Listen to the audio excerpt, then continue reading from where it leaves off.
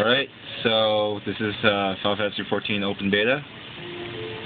I just turned, I actually turned on every single setting in the game, even ambient occlusion. So it's at 16 quality, whatever, anti-aliasing. Uh, running at windowed mode, uh, 1080p. Uh, all the settings are maxed out, so we're seeing me running through the town right now.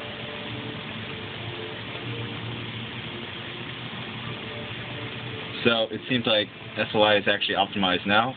The game's actually optimized to have AI um, AO running properly. So here we go.